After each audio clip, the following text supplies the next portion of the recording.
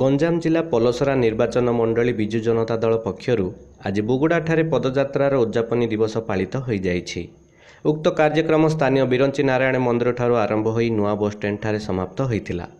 ମାନ୍ୟବର ବିଧାୟକ ପଲସରା ଶ୍ରୀ ଶ୍ରୀକାନ୍ତ ସାହୁଙ୍କ ପ୍ରତ୍ୟକ୍ଷ ତତ୍ତ୍ୱାବଧାନରେ କାର୍ଯ୍ୟକ୍ରମ ପରିଚାଳିତ ହୋଇଥିବା ବେଳେ ନୂଆ ବସ୍ଷ୍ଟାଣ୍ଡଠାରେ ଏକ ପଥପ୍ରାନ୍ତ ସଭା ମଧ୍ୟ ଅନୁଷ୍ଠିତ ହୋଇଥିଲା।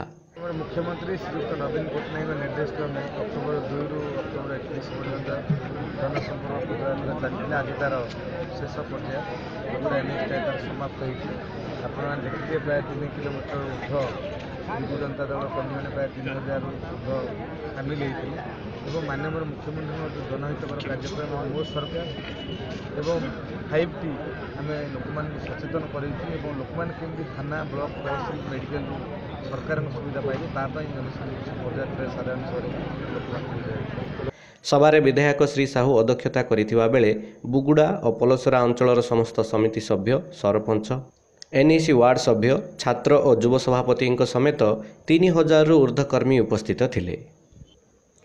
ଗଞ୍ଜାମ ଜିଲ୍ଲା ବୁଗୁଡ଼ାରୁ ହରପ୍ରସାଦ ମହାପାତ୍ରଙ୍କ ରିପୋର୍ଟ ଉତ୍କଳ ଖବର।